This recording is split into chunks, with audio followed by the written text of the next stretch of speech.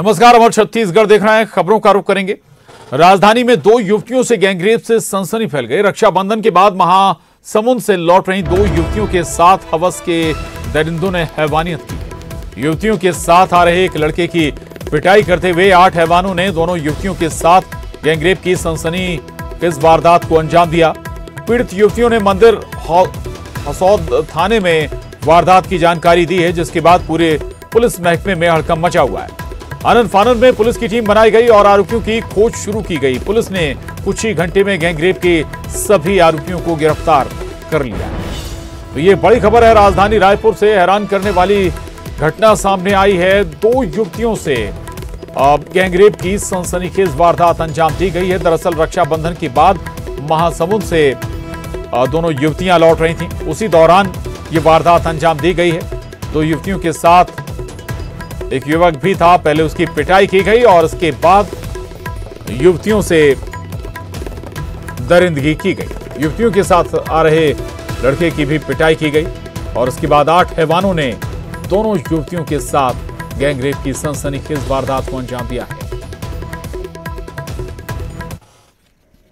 मंदिर हसो थाना में कल रात में एक बजे एक युवती आई और उसने एक रिपोर्ट दर्ज कराई कि वो अपनी बहन और अपने मंगेतर के साथ में राखी त्यौहार मनाकर वो छतौना तरफ़ से आ रही थी। भानसोच जब क्रॉस की थी, उसके आगे कुछ कुछ लड़के मिले और उनके ऊपर छीटा कसी किए तो इन लोगों ने इसको इग्नोर किया, आगे बढ़े आगे बढ़े, कुछ ही दूर गए थे, एक दो किलोमीटर के आसपास तो वहाँ पर तीन लड़के बाइक में सवार थे, उन लोगों ने इनको रोका। रोकने के पश्चात जो पीछे जो लड़के इनको छीटा कसी करते जा रहे थे, वो भी इनके पास आ गए। सभी ने मिलकर इनके पास रखे मोबाइल और कुछ पैसे थे, उनको छीन लिया। और उसके बाद में इन लोगों ने अपना मोबाइल भी उसको दिया कि भाई हमको छोड़ दो, हम जाना चाहते हैं यहाँ से। तो इन लोगों ने फिर बाद में दोनों लड़कियों को जबरन अपने साथ में ले गए और बारी बारी से उनके साथ में सामूहिक रूप से इसके साथ दुष्कर्म किया। पीड़िता ने जब रिपोर्ट दर्ज, जैसी थाने में रिपोर्ट दर्ज कराई, पुलिस अधीक्षक महोदय स्वयं ही थाने उपस्थित आए और सभी अधिकारियों को उन्होंने निर्देशित किया। रात में ही उन्होंने टीम बनाई और मुख्य प्राथमिकता थी कि हम आरोपियों को जल्द से जल्द गिरफ़्तार करें। पुलिस आज सुबह तक लगातार सभी टीमें सक्रिय थी तो दस आरोपी जो थे सभी इसमें जो शामिल आरोपी हैं, वो सभी पुलिस ने हिरासत में ले लिया। पूछताछ करने को उन्होंने जुर्म भी स्वीकार किया। पुलिस आगे की कार्रवाई। और न्यूज़ एटीन संवाददाता युगल तिवारी हमारे साथ जुड़ गए हैं। युगल, ये घटना शर्मसार करती है राजधानी को भी और सवाल भी उठाती है, आखिर क्या पुलिस वाकई बिल्कुल एक्टिवनेस खत्म हो गई? इतना हौसले बढ़ गए इन बदमाशों के कि दो युवतियों के साथ दिन दहाड़े वारदात को अंजाम दिया गया गैंगरेप की। देखिए, प्रशांत, बिल्कुल हैरान करने वाली ये ये जो बात है, ये जो घटनाक्रम है और बिल्कुल हवानियत की हदे को इन आरोपियों ने पार किया है। रक्षाबंधन का दिन था। ये आरोपी अपनी बहन के साथ पहले रक्षाबंधन का पर्व मनाते हैं और जो रक्षाबंधन मना करके जो जो जो युवतियाँ और एक नाबालिग लौट रही थी अपने मंगेतर के साथ उसके साथ हैवानियत भरा जो है जो कृत्य है वो करते हैं। एक जो किशोरी थी उनके साथ दो लोगों ने सामूहिक दुष्कर्म किया और बाकी एक जो युवती थी उसके साथ आठ लोगों ने अपना मुँह काला किया है। जैसे ही पुलिस को इसकी सूचना मिली सभी दस आरोपियों को सुबह सुबह गिरफ़्तार कर लिया गया है। फ़िलहाल अभी आरोपियों की शिनाख्ती की कार्रवाई है वो जारी है। पुलिस ने छह टीमें गठित की थी और ये ये है कि जो पीड़िता थी उन लोगों ने जो गाड़ी के जो नंबर है वो रखे थे और यही इसी के ज़रिए पुलिस ने सभी आरोपियों को गिरफ़्तार किया है। फ़िलहाल सभी आरोपियों को जेल भेजने की तैयारी की जा रही है। उसमें से एक जो पूनम ठाकुर है जो आदतन अपराधी है 302 के मामले में भी वो जेल में निरुद्ध रहा है। साथ ही साथ 17 तारीख को अनाचार के मामले में वो उसकी बेल हुई थी तो ये आदतन अपराधी था और 10 लोगों को पुलिस ने फ़िलहाल हिरासत में लिया है। जी, प्रशांत। जी, बिल्कुल, दस एक बाकी लोगों का क्या ट्रैक रिकॉर्ड है या फिर क्या आपराधिक कोई पृष्ठभूमि भी है? दूसरा ये कि पहले से तो नहीं जानते थे ये, जो युवतियाँ जिनके साथ ये जघन्य वारदात हुई है, युगल। देखिए प्रशांत एक तकरीबन जो नौ बजे की घटना है जो एफआईआर में दर्ज है पीड़िता ने बताया कि वो महासमुंद से रक्षाबंधन का त्यौहार मनाकर लौट रहे थे। तीन चार युवक पहले इनसे छीटा कसी किए उसके बाद इसका पीछा करते हुए आगे आए। सामने में कुछ चार पाँच युवक और खड़े थे जिन्हें रोका गया गाड़ी और चक्कू दिखा करके जो उनके साथ जो उनके जो मंगेतर थे उस पर चाकू दिखा करके डरा धमका करके ले गए और अनाचार की घटना को अंजाम दिया। फ़िलहाल अभी एक एक जो आरोपी है सोनू ठाकुर उसकी पूनम ठाकुर उसकी जो ट्रैक रिकॉर्ड है आपराधिक पृष्ठभूमि की है। बाकी नौ जो अन्य आरोपी हैं उनके ट्रैक रिकॉर्ड पुलिस अभी खंगाल रही है। फ़िलहाल सभी को गिरफ़्तार कर लिया गया है। जी। सभी को गिरफ़्तार कर लिया गया लेकिन सवाल तो उठता ही है कि भाई अगर ऐसी वारदात अंजाम दे रहे हैं तो पुलिस से कोई डर नहीं है। आपराधिक तत्वों को लगातार घटनाओं का भी, अगर हम पुरानी घटनाओं का भी ज़िक्र करें तो ये कोई नई बात नहीं है। इस तरह की घटनाएँ, चाहे चाकूबाजी की घटनाएँ हों, या फिर जघन्य वारदातें, रेप जैसी वारदातें, आम हो चली हैं रायपुर में। जी, बिल्कुल प्रशांत ये कह सकते हैं कि हमारा जो लचीला कानून है उसका फ़ायदा बेजा फ़ायदा इस तरह के जो आपराधिक हैं वो उठाते हैं। दरअसल इन्हें जमानत मिल जाती है। आप सोच सकते हैं सत्रह तारीख को दुष्कर्म दुष्कर्म के मामले में उसे जमानत मिली है और फिर उसने जघन्य अपराध गैंग रेप की घटना को अंजाम दिया है। तो इससे अंदाज़ा लगाया जा सकता है कि किस तरह की लचर जो कानून व्यवस्था है उसका फ़ायदा इस तरह के जो आदतन आरोपी हैं वो लगातार उठाते हैं। बिल्कुल सवाल तो ये खड़ा होता है कि आखिर कानून क्या करता है? और जब आरोपी की गिरफ्तारी हो गई जेल से इनको जमानत पर रिहा भी कर दिया जाता है। तो कई तरह के सवाल उठते हैं। अब ज़रूरत इस बार की है कि ऐसे अपराधियों को सलाखों के पीछे होना चाहिए जिस तरह से अपराध कर, करते हैं और कानून के प्रति इनका जो भय है वो खत्म हो रहा है और ऐसी घटनाओं को अंजाम देते हैं। और ये स्थानीय लोग वहाँ बता रहे थे कि सुनसान इलाका होने की वजह से लगभग दो साल पहले भी इस तरह के जो अनाचार की घटना है उस रोड पर हुए हैं। अब इसमें आरोपियों पर सख्ती बरतने की ज़रूरत है प्रसाद। बिल्कुल रहेगा धर्मलाल कौशिक जी हमारे साथ नेता बीजेपी जुड़े धर्मलाल कौशिक जी बहुत ही जघन्य वारदात राजधानी रायपुर में दो युवतियों के साथ वारदात हुई है। सवाल उठ रहा है कानून व्यवस्था पर। आपका रिएक्शन देखिए लगातार घटनाएँ घट रही है। कानून व्यवस्था पूरी तरह से फेल हो गई है ध्वस्त हो गई है। और ये जिस प्रकार से ड्रग के शिकार हो रहे हैं नशे के शिकार हो रहे हैं ये जिस प्रकार से घटनाएँ अनाचार की घटनाएँ हो रही है लगता ही नहीं है कि यहाँ पर कोई सरकार चल रही है कोई प्रशासन नाम का चीज़ है कोई पुलिस नाम का चीज़ है। और इस आज इस बात में अब सब सुरक्षित कौन है? ये खास करके सरकार के आने के बाद में लगातार ये प्रश्न उठ रहा है स्वाभाविक रूप से। और इस पे नियंत्रित जो होना चाहिए नियंत्रण जो होना चाहिए कहीं ना कहीं सरकार की असफलता है विभाग की असफलता साबित हो रही है।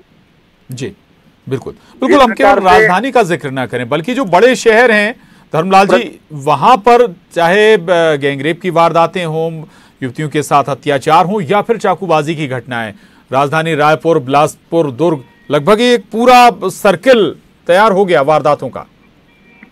मैंने रायपुर का तो उदाहरण दिया लेकिन जिस प्रकार अभी बिलासपुर में जो। अवैध नशे का कारोबार का जो गिरफ़्तार में आए हैं जब एक बार तय हो गया विधानसभा के अंदर तय हो गया कि कोई हुक्का बार नहीं होगा कोई ये नहीं होगा पब का ये आखिर ये घटनाएँ लगातार घट रही सरकार कर क्या रही है? मुख्य प्रश्न तो यही है। चाहे हम दुर्ग की बात करें भिलाई की बात करें भिलाई को उस समय की पुरानी घटना आपको याद है। कैसे घटना घटी थी? उसके बाद में कोरबा की हम बात करें तो लगातार जो बड़े शहर हैं आज अपराध लगातार अपराध की तरफ़ में प्रवृत्ति बढ़ते जा रही है। क्राइम लगातार बढ़ रहा है। मनोवृत्ति उनके विकार जो देखने में आ रही है उसके मूल में एक्चुअल में सरकार जा नहीं पा रही है कि आखिर ये ये जो युवा है ये युवा गलत रास्ता में कैसे जा रहे हैं क्यों भटक रहे हैं? और मैं यही कहना चाहता हूँ कि मूल में यदि आप देखेंगे ना चाहे चाकूबाजी की घटना को लो लूट की घटना को लो अपहरण की घटना को लो अनाचार घटना लो कुल मिलाकर के जो अवैध कारोबार जो चल रहा है अवैध नशे के चंगुल में जो। युवा फंस रहे हैं और कहीं ना कहीं उसका दुष्परिणाम ये दिखाई दे रहा है। बिल्कुल बिल्कुल ये बिल्कुल सवाल भी हैं और वाजिब सवाल हैं जो आप उठा रहे हैं। धर्मलाल कौशिक जी लेकिन विपक्ष के नाते इसका हल क्या नज़र आता है आपको? अगर कुछ स्वाभाविक है कि विपक्ष की ज़िम्मेदारी सुझाव देने की भी अगर हम कहें तो गलत नहीं होगा। देखिए हम लोग इस बात पर लगे हुए हैं जी। कि जब आपका पुलिस का अमला इतना बड़ा है एक्साइज का इतना बड़ा अमला है ये अवैध कारोबार चलाने वाले कौन लोग हैं? जी। महादेव में पुलिस जो पकड़ा रहे हैं क्या स्वाभाविक रूप से प्रश्न नहीं उठ रहा है ये? कि उनके बिना संरक्षण के कैसे संभव है? और जब पुलिस पकड़ा रहे हैं तो स्वाभाविक रूप से सरकार से जुड़े हुए लोग हैं। और सरकार से जुड़े हुए लोग यदि अवैध धंधे चलाएँगे अवैध कारोबारी में उनका सहयोग रहेगा और संरक्षण उनका रहेगा तो आखिर प्रदेश का माई बाप कौन है कि जिसको कंट्रोल कर सके और नियंत्रित कर सके? जी जी। धर्मलाल जी रहिएगा लौटूँगा आपके पास। धनंजय सिंह ठाकुर जी हमारे साथ जुड़े हैं कांग्रेस से। धनंजय सिंह जी वारदातें आप भी अवगत हो गए होंगे इस वारदातों से। दो युवतियों के साथ आठ लोगों ने मिलकर गैंगरेप की वारदात को अंजाम दिया। क्या कानून व्यवस्था आपके हाथ से निकल गई? जो कल घटना हुई है बहुत दुखद घटना है और पुलिस उस पर त्वरित कार्रवाई भी की है और दस आरोपियों की गिरफ्तारी हुई है और उसमें एक जो आरोपी जो मुख्य आरोपी है वो भारतीय जनता पार्टी के मंडल के पदाधिकारी का पुत्र है। इससे समझ में आता है चाहे नारायण चंदेल का पुत्र हो चाहे जो भानु प्रताप उपचुनाव में भाजपा ने जिसको प्रत्याशी बनाया हो जो गैंग रेप का आरोपी हो आखिर भारतीय जनता पार्टी ऐसे लोगों को संरक्षण क्यों देती है? और एक घटना हुई है पुलिस इस पर कार्रवाई जी बीजेपी से हो या किसी और सियासी दल से जुड़ा हुआ हो अपराधी अगर वो आपराधिक मानसिकता का है तो उसके हौसले इतने बुलंद कैसे हो गए? आपने बहुत अच्छा सवाल पूछा है। ये चीज़ें क्यों हो रही है? और ऐसे अपराधियों में भाजपा नेताओं की सलिप्तता क्यों पाई जाती है? क्योंकि भारतीय जनता पार्टी बलात्कारियों और रेपिस्टों को संरक्षण देती है। नहीं नहीं सरकार आपके हिसाब कानून व्यवस्था आपके हाथ में है कौन कंट्रोल करेगा? पुलिस ने गिरफ़्तार किया है पुलिस ने आरोपियों को पकड़ा है और देखेंगे छत्तीसगढ़ में कानून मजबूती से काम कर रहा है। घटना के बाद आरोपी पकड़े जाते हैं। लेकिन भारतीय जनता पार्टी के नेता बताए ना भाई चाहे नारायण चंदेल का पुत्र हो चाहे मंडल अध्यक्ष का पुत्र हो या भानु प्रतापुर के उपचुनाव भाजपा ने रेपिस्ट को प्रत्याशी बनाए क्या इससे जो इस मानसिकता के लोग हैं उनको बढ़ावा नहीं मिलता? एक और भाजपा विपक्ष पर सवाल उठाने से अपनी कमियाँ छुपेंगी नहीं। सवाल नहीं है भाजपा का चरित्र का पर्दाफाश कर रहा हूँ मैं। मणिपुर में घटना होती है मणिपुर में महिलाओं के साथ गैंगरेप होता है महिलाओं को नग्न करके घुमाया जाता है और पंद्रह दिन तक एफ़ आई नहीं होता है अस्सी दिन बाद जब वीडियो सामने आता है तो नरेंद्र मोदी जी कहते हैं कि मुझे बड़ा दुख हुआ ये समझ में आता ठीक है वहाँ वहाँ बीजेपी को जवाब देना होगा लेकिन यहाँ यहाँ ज़िम्मेदारी सरकार की है आपकी शुक्रिया धनंजय सिंह ठाकुर जी न्यूज़ एटीन से बात करने के लिए। धर्मलाल कौशिक जी आपका भी धन्यवाद। तो दो युवतियों के साथ गैंगरेप और इस पर सवाल कई उठाए जा रहे हैं। आगे बढ़ेंगे राजधानी में, जहाँ बेटियाँ हैवानों के खौफ में जी रही, वहीं न्याय राजधानी बिलासपुर भी बेटियों, महिलाओं के लिए सुरक्षित नहीं रह गया ऐसा दिखता है कि बिलासपुर में सरेआम कांग्रेस नेता की गुंडागर्दी का वीडियो सामने आया। कांग्रेस नेता करण सोनकर महिलाओं के साथ गाली गलौज के साथ मारपीट कर रहे हैं। सिटी कोतवाली के दयाल बंद इलाके में कांग्रेस नेता की गुंडागर्दी से इलाके में लोगों में दहशत है। महिलाओं ने आरोपी कांग्रेस नेता के खिलाफ थाने में मामला दर्ज कराया। वहीं इस मामले को लेकर बीजेपी ने कांग्रेस पर प्रहार किया है।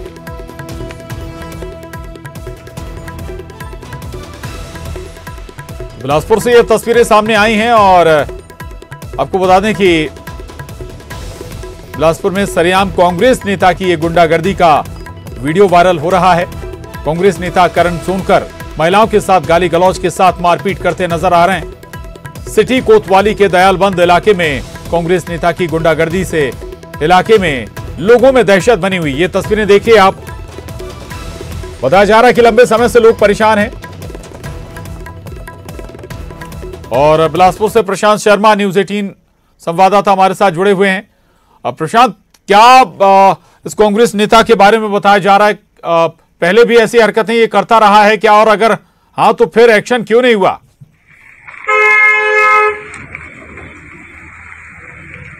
जी निश्चित रूप से जो वीडियो वायरल हो रहा है काफ़ी तेज़ी से ये बिलासपुर में वीडियो वायरल हो रहा है जहाँ कांग्रेस नेता के द्वारा गुंडागर्दी की जा रही साथ ही महिला के साथ गाली गलौज व मारपीट भी की गई है जिसकी शिकायत महिला ने सिटी कोतवाली बिलासपुर में दर्ज कराई और साथ ही गंभीर आरोप भी लगाए गए हैं।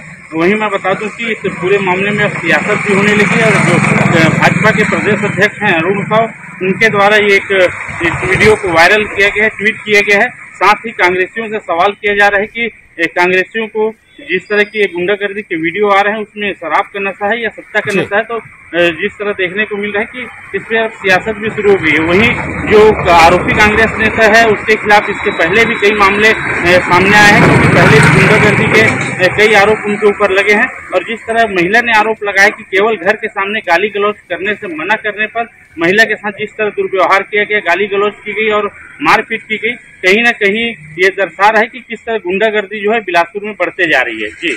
बिल्कुल। बिल्कुल लगातार गुंडागर्दी बढ़ रही है और ये तस्वीरें परेशान करने वाली भी हैं। शुक्रिया प्रशांत आपका पूरी जानकारी के लिए। तो अब कांग्रेस नेता का एक वीडियो वायरल हो रहा है जो सवाल खड़े कर रहा है। आगे बढ़ेंगे। गरियाबंद से बड़ी खबर है। फांसी के फंदे पर लटकी मिली दुधमोहे बच्चे की लाश। पिता ने अपने ही बच्चे को फांसी के फंदे पर लटका दिया। फिंगेश्वर थाना के गनियारी के जंगल में शव बरामद हुआ है। आरोपी पिता को पुलिस ने गिरफ़्तार कर लिया है। फिंगेश्वर पुलिस पूरे मामले की जाँच में जुटी हुई। तो गरियाबंद का ये मामला है जहाँ पर एक दुधमुहे बच्चे का शव फांसी के फंदे पर लटका मिला है। आरोप पिता पर लगा है। पिता ने ही अपने बच्चे को फांसी के फंदे पर लटकाया है। फिंगेश्वर थाना के गनियारी के जंगल में शव बरामद हुआ। है और रायपुर से बड़ी खबर, आज रायपुर आएँगे केंद्रीय गृह मंत्री अमित शाह। अमित शाह बीजेपी संगठन की बैठक भी लेंगे, विधानसभा चुनाव की रणनीति पर चर्चा भी करेंगे।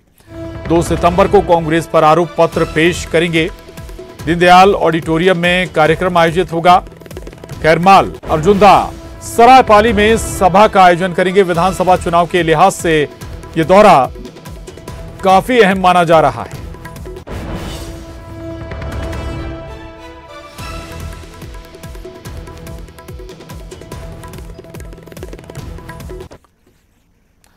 विधानसभा चुनाव की तैयारियों को लेकर बीजेपी ने कमर कस ली पार्टी की जीत को लेकर बड़े नेताओं का प्रदेश का दौरा और बैठकों का दौरा जारी है। केंद्रीय गृह मंत्री अमित शाह के दौरे के पहले बीजेपी के राष्ट्रीय संगठन महामंत्री बीएल संतोष रायपुर पहुँचे। उनके साथ ही छत्तीसगढ़ के सोशल मीडिया के प्रभारी सिद्धार्थनाथ सिंह भी रायपुर पहुँचे। एयरपोर्ट से दोनों नेता सीधे बीजेपी मुख्यालय पहुँचे, जहाँ बीजेपी के बड़े नेताओं के साथ ये दोनों नेता बैठक करेंगे। संगठन की बैठक में अमित शाह के सामने रखे जाने वाले मुद्दों पर चर्चा होगी। इसके बाद रात में केंद्रीय गृह मंत्री अमित शाह के बीजेपी के बड़े नेताओं का बीजेपी के बड़े नेताओं के साथ वो मंथन भी करने वाले हैं। दायित्व से आया हूँ। केंद्र की व्यवस्था के तहत जिसमें मीडिया और पब्लिसिटी का मुझे चुनावी प्रभार दिया गया है तो वो उसके कार्यक्रम में हूँ। पहले भी आया था तो हम लोग लगे हमारे आज संगठन महामंत्री भी आए हैं। बीएल संतोष जी और हमारे केंद्र गृह मंत्री जी भी शाम को आ रहे हैं और भी प्रभारी लोग यहाँ ही हैं। तो चुनाव के लिए भारतीय जनता पार्टी ने अपनी कमर कस रखी है। और ये मैं कह सकता हूँ कि भूपेश बघेल की धड़कने ज़्यादा बढ़ चुकी हैं और आने वाले समय में यहाँ से अपराध मुक्त और भ्रष्टाचार मुक्त शासन भारतीय जनता पार्टी बनाने जा रही है। आरोप पत्र भी जारी करने वाले हाँ वो कल हम लोग आरोप और छत्तीसगढ़ के चुनावी मैदान में उतर चुकी आम आदमी पार्टी ने गौवंश की नीलामी को लेकर प्रदेश सरकार पर हमला बोला। पार्टी का कहना है कि जिस गौमाता और गौठान के नाम पर कांग्रेस सरकार ने अपनी ब्रांडिंग की चंद रुपयों के लिए उसी को नीलाम कर रही है।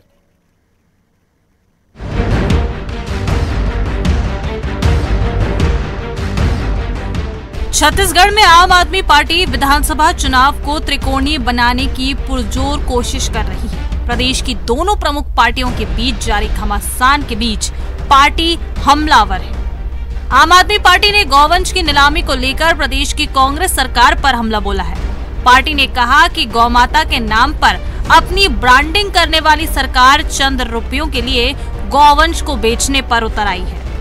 गौठान के नाम पर करोड़ों रुपए खर्च करने के बाद गायों की नीलामी निंदनीय है। गौठान योजना, भ्रष्टाचार की भेंट चढ़ गई है। रायपुर नगर निगम के इस फैसले के खिलाफ आम आदमी पार्टी सड़कों पर उतरेगी। गौठान के नाम पे करोड़ों का भ्रष्टाचार करने वाली सरकार का इससे बुरा चेहरा क्या हो सकता है? इससे बुरी बात क्या हो सकती है कि आप गाँव माताओं का अब नीलामी करने के लिए आप हो चुके हैं और पेपर के माध्यम से आप लोगों को आमंत्रित कर रहे हैं कि आओ और गाय खरीदो। जब आपका गाय गोबर बिक रहा है, वर्मी कंपोस्ट बिक रहा है, गौमूत्र बिक रहा है, लोग करोड़पति बन रहे हैं इन गाय माताओं का संरक्षण क्यों नहीं दे पा रहे एक तरफ़ बघेल सरकार पर बीजेपी ताबड़तोड़ आरोपों के तीर छोड़ रही है। वहीं आम आदमी पार्टी भी भ्रष्टाचार, घोटाले और गलत नीतियों को लेकर लगातार हमलावर है। ऐसे में सूबे की सत्ता बरकरार रखने की कवायद में जुटी कांग्रेस को दोहरी चुनौती का सामना करना पड़ रहा है। युगल तिवारी, न्यूज़ 18 रायपुर। भाई, आपने गोठान बनाया। भूपेश सरकार गोधन की बात करती है, गोमूत्र की बात करती है, गो माता की बात करती है। और उसको सुरक्षित रखने के लिए पालने के लिए गोठान बनाए। जनता की गाढ़ी कमाई का तेरह सौ करोड़ रुपए गौ माता के नाम पर आपने खर्च किया उसमें भी बड़ा भ्रष्टाचार किया। और अब गाय को पकड़कर आप नीलाम करना चाहते हैं तो गोठान किस लिए बताया क्या गाय को नीलाम करके आप आ, कसाईयों को देना चाहते हैं या उसकी तस्करी करवाना चाहते हैं? इसलिए तो हम शुरू से कहते हैं गाय और राम, ये भारतीय जनता पार्टी की संस्कृति और परंपरा में है। कांग्रेस तो इसे राजनीति के लिए उपयोग कर रही है। देखा ना, आखिर नीलामी कर रहे हैं ना गायों की? और देखिए, भारतीय जनता पार्टी अस्त्रहीन राजनीति कर रही है कांजी हाउस में जब कोई आबादा पशु बंद होता है तो एक समय के बाद में उसको, उसकी नीलामी की जाती ताकि उन पशुओं के बारे में कोई उसको खरीदना चाहे, उनको पालना चाहे तो खरीद सकता है। इससे सरकार के ऊपर भी व्यय नहीं आता है। पुरानी परंपरा 2017 में तो भारतीय जनता पार्टी के सरकार के समय गोवंश की नीलामी होती थी, लेकिन उसके बाद उसकी देखभाल नहीं की जाती थी। और दुर्ग में बीजेपी सांसद सरोज पांडे ने मंच से मुख्यमंत्री से रक्षाबंधन का तोहफा मांगा। महिला मोर्चा के रक्षाबंधन के कार्यक्रम को संबोधित करते हुए उन्होंने कहा कि सीएम भूपेश बघेल ने शराबबंदी की बात कही थी। रक्षाबंधन के मौके पर बहनों को आप तोहफा देते हैं, इसलिए प्रदेश की सभी बहनों को तोहफे में शराबबंदी दे दीजिए। उनसे आग्रह किया कि माननीय मुख्यमंत्री जी, मैं इस राखी को भेजती हूँ। आप शराबबंदी का आपने वादा किया था। मेरा आग्रह है कि आप उपहार में ज़रूर कुछ न कुछ देते हैं। और जब रक्षाबंधन का पर्व आता है, जब कलाई पर हम राखी बांधते हैं तो कुछ चाहिए नहीं। मेरे भाई की आयु लंबी हो जाए, मेरी उम्र भी उसको लग जाए, हम यही कामना करते हैं। लेकिन भाई भी अपना फ़र्ज़ निभाता है। जो बहन मांगती है, उसे ज़रूर देता है। और नहीं मांगती है तो भी देता है। वो उसका प्यार है, उसका स्नेह है। लेकिन छत्तीसगढ़ के मुख्यमंत्री जी से जब मैंने शराबबंदी का वादा पूरा करने की बात कही, क्योंकि इन्होंने शराबबंदी का वादा हम सब बहनों से किया था। छत्तीसगढ़ की हर बहन से किया था और इन्होंने कहा था कि हम शराबबंदी लागू करेंगे। सब बहनों ने टूट कर कांग्रेस को वोट दिया। मैंने वादा याद दिलाया और मैंने कहा कि आप वादा पूरा कर दीजिए। इस राखी यही उपहार दे दीजिए। मुख्यमंत्री जी ने उसको राजनीति बना दिया। हमने बिल्कुल चाहते थे कि शराबबंदी हो, लेकिन जब यहाँ के लोगों से बातचीत और बहुत कुछ इसके बारे में जब ग्राउंड वर्क किया तब ऐसा लगा कि अभी समय ठीक नहीं है शराबबंदी लागू करने के लिए। और इसके साथ ही इस बुलेटिन में बस इतना ही खबरों का सिलसिला लगातार जारी।